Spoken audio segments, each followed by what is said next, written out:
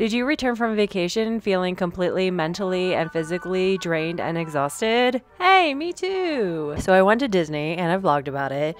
And then I stopped vlogging about it because I got too tired. And now it's getting back into the mundane and ordinary routine of life with the addition of going back to work.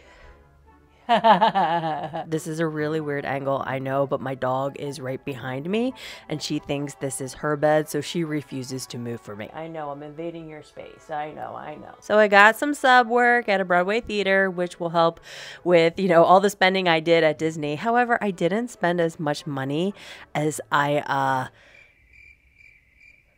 I feel like there's a more specific word, but calculated may be correct because I did calculate my my spending. But I'm really happy that I was able to come home with money. So I underspent instead of overspent. Uh, I think it helped that it was so damn hot down in Florida. The amount of money I put, you know, aside to spend on food, like I I didn't even use half of it. Let's just say that. All those snacks I wanted to try, didn't do it. So let's start the show. We're just gonna get back into the swing of things with a mundane vlog and just chill and relax and stress because I'm returning to work for the first time since April and it's at a different theater and I don't know how that'll go and you know anxiety and my brain is freaking out and oh my god ah you know the usual is it snack time snack time? Yes. Yes. Let's go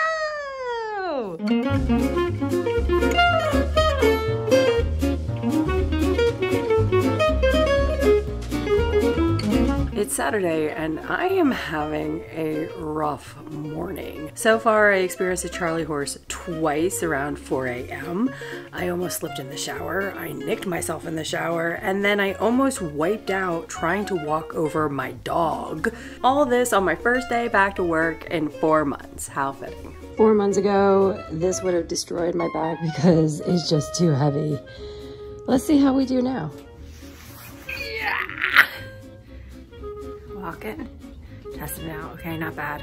I think I balanced it enough. Let's add a fanny pack to the mix. Sure, why not? Fashion. The train I was going to take is late and it's close to the next train, which is what I would usually take, but because I have an earlier call time, that's why I wanted to take the train at 10 o'clock, which just arrived at 10.10. Next train is at 10.21. I feel like I'm just gonna wait for the 1021 because that's a semi-express anyway. I was just trying to play it safe, but uh, New Jersey Transit gonna New Jersey Transit.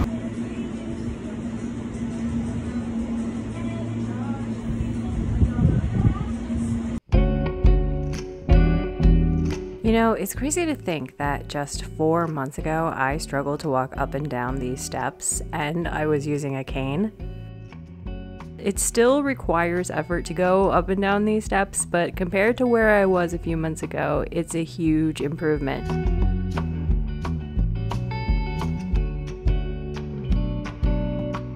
Ah, there's nothing like a beautiful view on a train. Times Square, I have not missed you so.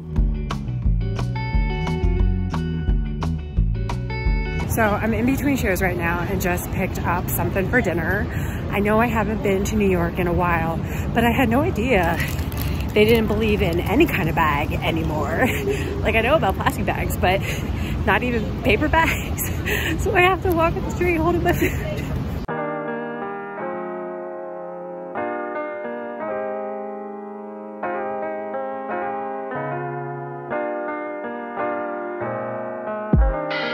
In my prime, I was able to walk from 42nd Street to Penn Station in 10 minutes. This time, it took me 11 minutes? Honestly, I have no idea how I managed that because while I am faster than a few months ago, I'm still at a slow pace, especially compared to New Yorkers. But 11 minutes, hey, I'll take it. This room just has the worst lighting ever. Well, I'm back at home and I get to do this all over again tomorrow. So this was my first time properly doing my job in over a year because March, April didn't count. I was doing like, I was just sitting there. I was doing nothing. I was sitting there because I couldn't do anything, and I was a dumb dumb who thought I could go back to work early, and everybody warned me not to, and now I understand why. So this was the first time I was able to like fully do the job. So it was two shows, full day, like. I left the house at 9:30 a.m. and just got in a little after 10:30 p.m. My body is obviously tired, so I made sure to take some Advil and now I'm going to rest a little bit and then go to bed. So I'm back at work. Specifically, I'm subbing at my old theater, the place I left 5 years ago. A few people have asked me if it's weird being back there and in one way, it, it kind of is because it's been five years, and due to everything that I've been through, there are a lot of bad memories attached to that place. But on the other hand, things have changed, and there are different people in charge. So, with everything that I went through five years ago, I knew that it would be a safe and comfortable place for me to return to. And by returning, it also feels like I never left. It's so weird how easily I was able to slip in. There were people there that were there when I left and they remembered me and they remember my name, although I'm pretty sure they asked somebody to remind them what my name was. But it, it, was a nice feeling that, you know, they remembered me and they were happy to see me. Things change a lot in the landscape of YouTube and especially with my channel. People are more so going than they are coming. So I don't think that many people who might be watching me now were around five years ago, maybe like a small few. So they may remember some videos I made about what was going on with me, which are now private because I, I was just so highly emotional at that point and it, it's just not something I enjoy discussing. But for context, I will say that there were persons who caused me a lot of uh, distress and anguish and caused my mental health to greatly deteriorate and it got really bad and really dark for me um, and I knew that if I stayed at my job it was not going to turn out well for me to put it lightly. Hopefully you understand what I mean by that. It was a very difficult and painful time in my life, especially because I didn't feel like my managers like uh, were listening to me. Like I was trying to cry out. I mean, one of my managers saw me cry every single day and it just felt like they didn't truly understand what I was going through. And I know on my end, I could have been um, more vocal about what I was going through, but also I just I gave up because I did feel like nobody would have believed me or understood or truly listened, but that was my assumption. And knowing that those persons are no longer there and it being five years since I worked at that theater, I knew that I would be, you know, fine going back. I wouldn't have any stress or anxiety about being there. Probably a little insecurity. I think it's more so weird being there because I worked at that theater for nine and a half years and for five of those years I was uh, what you would say uh, was a supervisor level. Like I was on that kind of level and now I'm the complete opposite. I'm starting at just being a regular old employee. I'm low on the totem pole. Even though half the people know me, there are people who don't and you know, managers have changed, supervisors have changed, like a lot has changed, but also a lot hasn't, which is so funny to me. And that's what helped to like make the transition into going there easy, I think honestly, the only thing I really have to worry about in regards to going back to that theater is my spinal fusion. In terms of that, I would say I'm at like a solid 92, 93%. Like way, way better than it was back in March and April. I was still using a cane back then and I was struggling. Um, the only thing I'm really struggling with is going up and down stairs. If you've been to New York, then you know the stairs, especially the subway stairs, are a workout. And I absolutely struggle trying to walk up the stairs. And then I get stressed out because, you know, at any given moment, there's going to be people behind you. And I'm walking up very slowly, no matter how hard I try. I just, I have to go slow. I have to take my time because my body won't let me otherwise. Also, I can feel that my my center of balance, my equilibrium is off. So there's that fear of like, you know, losing my balance, falling over. The theater that I'm at, um, the stairs there are kind of scary depending where you are at the theater, especially when it's dark inside. so I really have to take my time in there. And, you know, there's that sense of anxiety, but go slow and steady. Hold on for dear life. That's all I could do.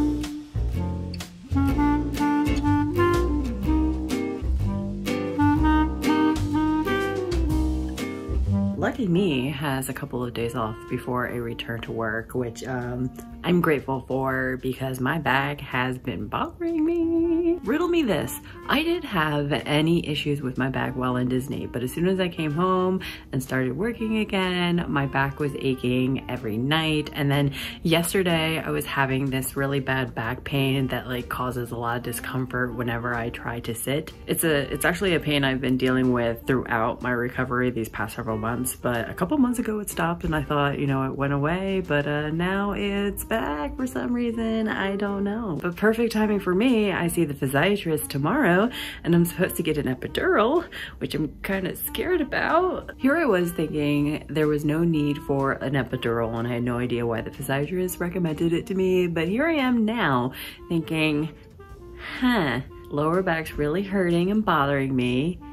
Maybe I do need an epidural. But at the same time, I realize that I think I'm stuck in assuming there should be an absolute with no pain when it comes to this recovery and the spinal fusion. But the reality is there's gonna be pain, there's gonna be discomfort, like the weather affects you, you know, those sorts of things. And I have to learn to deal with, you know, any of that whenever it pops up.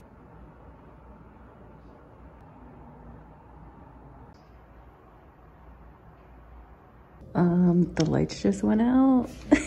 what the hell? And then they just came back on.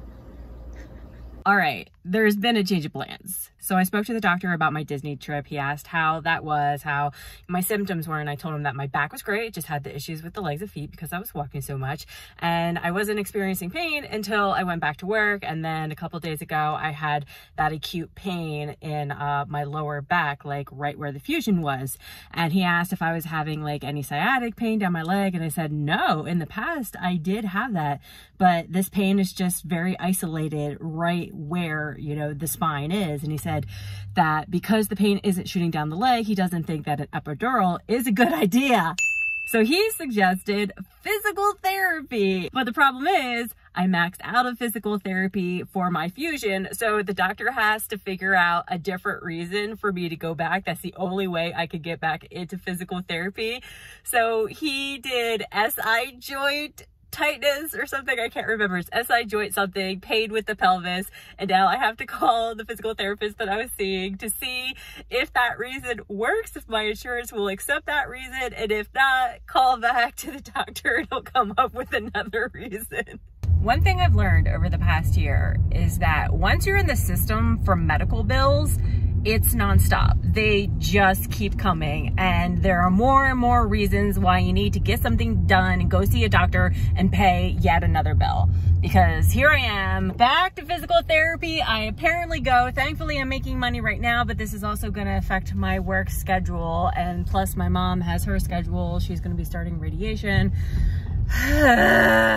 it's just never ending. Well, I just went through a fun process of making phone calls. First, I called my insurance company to see that I would be able to do physical therapy in the remainder of this calendar year because of all the physical therapy I did with my spinal fusion and they hung up on me. So then I called the physical therapist and she figured out that I would be okay, but I have 12 sessions left.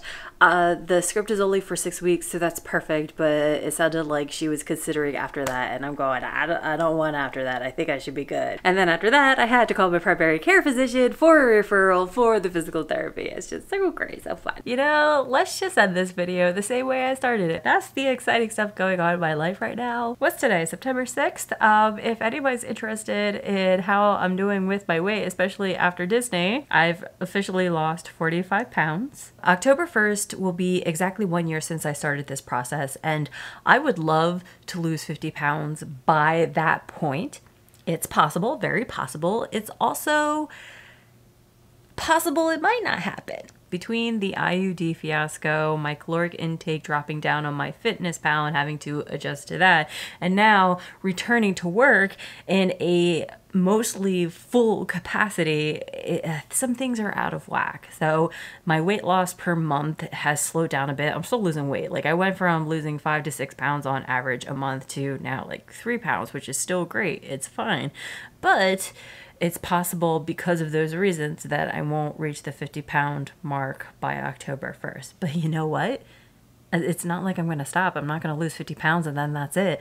I got to keep going. So if that doesn't happen, it's fine. It's going to be a bummer if I don't reach that point, but it's fine because this entire process is honestly trial and error. It's been figuring things out. And this is why I seriously recommend not filming your weight loss journey, especially if you are not in the best place mentally and, you know, struggle with your emotions, struggle with things going wrong. You know, you have high anxiety and stress like me. I'm able to work through these problems off camera. I may stress about it at first, but then I'm able to slow down, think about it, and, and work through it. And it, it, again, it's trial and error, seeing, okay, does this work? No. Okay, does this work? Yes. All right, figuring it out along the way. That's really what my weight loss process has been. And I will be talking more about it when I reach the one year mark, like going through everything that happened. But I'm telling you now, it's boring. It's really, really boring. But that's what it's supposed to be. It's supposed to be boring. So you got that to look forward to. Maybe I will have lost 50 pounds by October 1st.